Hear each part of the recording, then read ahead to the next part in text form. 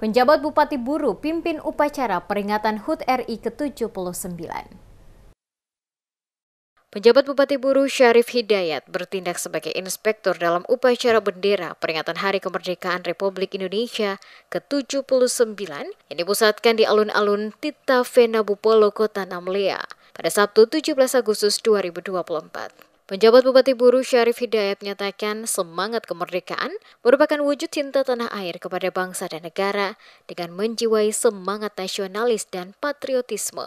Momentum pelaksanaan upacara bendera Hari Ulang Tahun Negara Kesatuan Republik Indonesia ke-79 menjadi landasan dan pijakan untuk memberikan penyemangat, terutama generasi muda, untuk terus berkarya demi kemajuan bangsa dan negara sesuai dengan tema Nusantara Baru Indonesia Maju. Rasa syukur juga disampaikannya selaku penjabat Bupati Buru karena seluruh rangkaian kegiatan HUT RI ke-79 di Kabupaten Buru dapat berjalan dengan aman dan lancar di mana prosesi pengibaran bendera sang saka merah putih dapat dilaksanakan dengan sukses. Kesuksesan ini tidak lepas dari kerja keras semua pihak yang terlibat dalam pelaksanaan seluruh rangkaian, mulai dari awal termasuk ketekunan dalam latihan yang diikuti oleh pasukan pengibar bendera.